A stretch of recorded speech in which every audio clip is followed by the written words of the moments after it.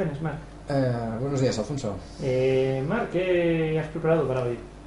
Pues mira, mm, estoy siguiendo, supongo que tú también, el torneo magistral de Noruega, Mm, con la participación de Carlsen, eh, otro jugador de élite noruego no tan conocido como Hammer, Ujú. y eh, jugadores de élite ya mucho más conocidos como Anand, Topalov, Nakamura, Karyakin, que me lo estaba dejando, pero va líder en este momento. Y bueno, y es- está resultando un torneo muy interesante por la, en teoría, el favoritismo de, de Carlsen, pero una forma buenísima de Karyakin que en estos momentos va líder. ¿no? Sí, te sobre la Radjadov, que va fantásticamente, ¿no? Lleva, Pobre. pobre hombre lleva una racha terrible, ¿no? Que viene de- arrastrando de dos o tres torneos Sí, sí, sí. una Cuando, racha cuando tu cabeza no está para jugar, no hay manera de salir Sí. de ahí. A un nivel tan alto es, es importante estar concentrado. te castigan. ¿eh? Sí, sí. Por ejemplo, ayer tuve una partida con Anand, con Blancas Nolyagov, Un que... auténtico desastre, sí. Sí, sí. Muy mal, ¿no? Bueno, entonces sí, eh, quería comentar la partida precisamente importante para el desenlace del torneo, Karyakin-Carlsen, porque son los dos que están en mejor forma. Si y- no me equivoco, esta partida es la quinta ronda Sí, y Calcetín 4 de 4 sí. y Carlsen 4 tablas. ¿puede 4 ser? de 4, pero tablas. Sí, 4 tablas. 4 tablas de 4. Curioso, ¿no? O sea, le lleva a dos puntos de ventaja. En el momento de la partida, sí. Y blancas. y blanca. Entonces, parece Madre un mía, buen sí. momento para sellar el torneo, ¿no? Claro, claro. Si ganas, desde Se luego acabó, se acabó se acabó el torneo. Y si haces tablas, casi que también, porque es tu máximo El, eliminas a tu rival, eliminas a tu rival, sí. Sí. O sea que Carlsen, que lleva negras, tiene una obligación imperiosa de ganar, ¿no? Bueno, Entonence vamos a por la partida. Kaljakin es un jugador casi fijo de 4 Sí. y un repertorio bastante agresivo. Bastante, no, Y muy bien estudiado. sí, a eso me refería. Eh, normalmente para ser- en la élite para ser agresivo tienes que haber estudiado mucho. Sí. No, no puedes no- ser agresivo. Si no se queda en una intención lo de ser agresivo y sales volando, ¿no? Pero en el caso de Karyakin no es así. 5, caballo F3. Vemos que Carlsen, aunque tiene un repertorio amplio, suele mm, en las aperturas suele buscar posiciones jugables, no Sí. aspira a grandes. Él no tiene el repertorio tan estudiado, pero es capaz de jugar cualquier tipo de posición. Tiene una fuerza en el medio juego terrorífica. Fil B5 y A6. Más seis. Normal, ¿no? O sea, Una española. española de toda la vida. Fila fila 4, cuatro, Caballo F6. caballo F6. Ahora está muy de moda D3, todo el mundo hace D3 aquí, pero Karyakin se mantiene fiel a enroque corto. Mm, Digamos que D3 evita variantes como caballo por E4, pero Karyakin no las teme. sí. Y, y, y Carlsen No, tampoco las busca. Te voy a decir una cosa. Kalekin no es que no las teme, sino que en una partida con Carlsen sabe que Carlsen no va a hacer caballo por Caballo E4. Por E4. Es una jugada que no puede estar en su repertorio. No, la, la he jugado alguna vez, pero... Pero, es todo teoría y no puede estar en el repertorio habitual de... Y menos contra Kaljakin. Claro. Y tiene una tendencia a ser demasiado forzada, no, no va con el estilo de Carlsen, ¿no? En algunas líneas, ¿no? Entonces, enroque y Carlsen no creo que pensara mucho. No, no, no. Alfil 7, la clásica, ¿no? Y aquí, bueno, pues nos espera una española normal, las variantes. Sí, la variante cerrada, ¿no? Sí. Comparativamente con caballo por E4, que la llamamos abierta. Y torre 1, la Bueno, clásica, ¿no? El Más que defiende, defiende su peón y se permite el tener en el aire D4. El tenerlo Claro. en el aire. Si haces D3 ya podrás hacer D4 en un tiempo, pero haciendo esto, pues si haces, D, si haces D4 gratis, pues es un tiempo de más. Sí, te permitirá aspirar a más iniciativa que hacer Sí. de 3.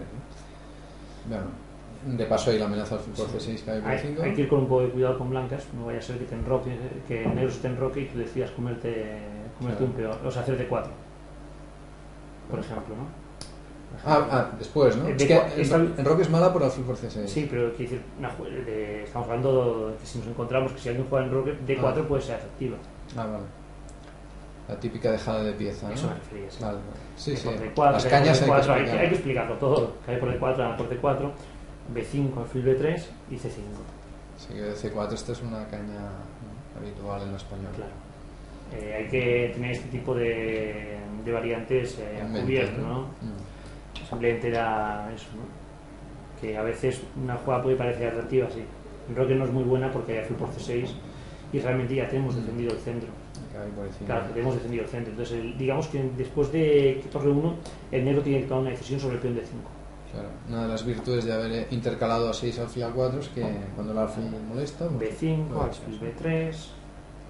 Vale, y aquí hay dos de 6 o enroque. ¿no? Enroque suele ser para jugar de 5 a la siguiente, gambito Marshall, bastante jugado en la élite, eh, pero Carlsen. ¿Qué te iba a decir? ¿Carlsen ha jugado alguna vez el gambito Marshall? Creo que no. ¿eh? Eh, el gambito Marshall es un gambito para jugadores que lo han estudiado hasta la muerte, aunque, aunque no sean jugadores de estilo agresivo como el Eco, ¿no? Mm. Son jugadores más bien tranquilos, pero que si, si tienen una variante forzada que, que les gusta, entran. Y se produce la contradicción de que, a pesar de ser un gambito y en teoría muy agresivo, es una línea para hacer tablas. Sí, se, sí, se ha convertido en eso. Sí, por eso Leco, Leco juega, la juega contento, ¿no? C3, bueno, La normal. gran, gran cantidad de teoría que acumula, ¿no? Roque. Y H3. Está claro, eh, si quieres jugar de 4 no vas a hacer de 4 sin hacer H3, ¿no, Marc? Alfil G4 es, Claro. es un molesta, ¿no? Bueno, por supuesto que hay mucha teoría también, ¿eh? De, de, de 4 alfil G4 Sí, sí, existe muchísimo. ¿no? Pero realmente la gente ahora acostumbra a hacer de 3, H3 quiero decir, Sí. si hay los que hacen de 4, porque de repente empieza a molestarles el tener que cerrar el centro ya directamente casi. Sí, sí, sí. Bueno, aquí hay dos variantes de 5, Sí. caballo A5, o alfil E3, porque Ah. el peón de 4 no está tocado realmente porque hay alfil de 5. Ujú.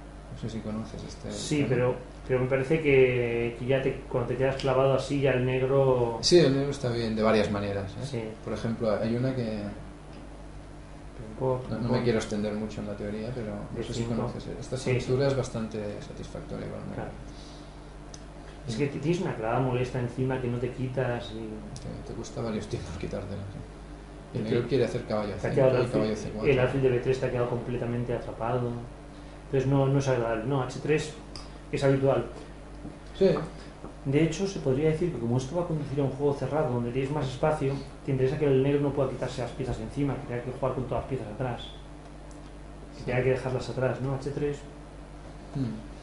Pero en cierta manera también el blanco adopta todo por conseguir de 4 una cierta lentitud en, su juego, ¿no? Porque torre 1, Sí. C3, H3, muchas preparatorias, ¿no? Hay que decir que cuando el juego es cerrado tampoco es un Tampoco problema es tan grave. No, no, por supuesto.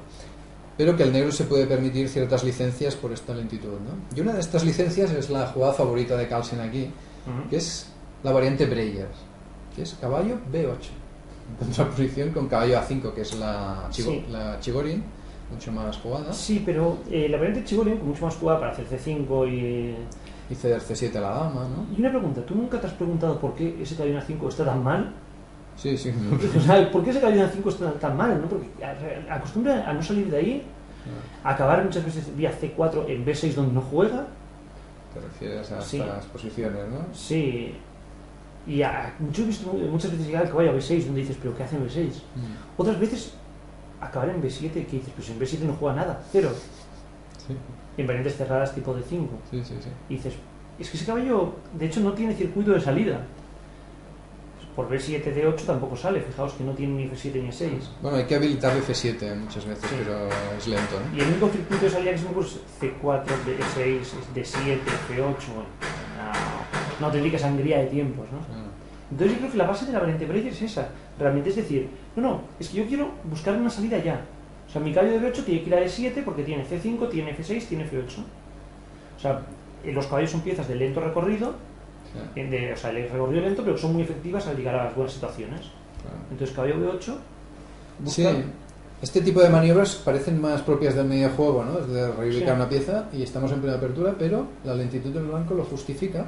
Y como dices tú, en D7 está muy bien